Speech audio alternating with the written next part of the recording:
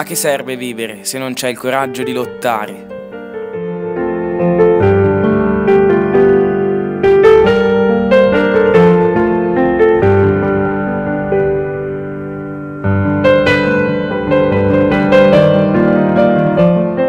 Le cose che non si sanno non sono. La sicurezza del potere si fonda sull'insicurezza dei cittadini. L'importante non è stabilire se uno ha paura o meno, è saper convivere con la propria paura e non farsi condizionare dalla stessa. Ecco, il coraggio è questo, altrimenti non è più coraggio, ma solo incoscienza.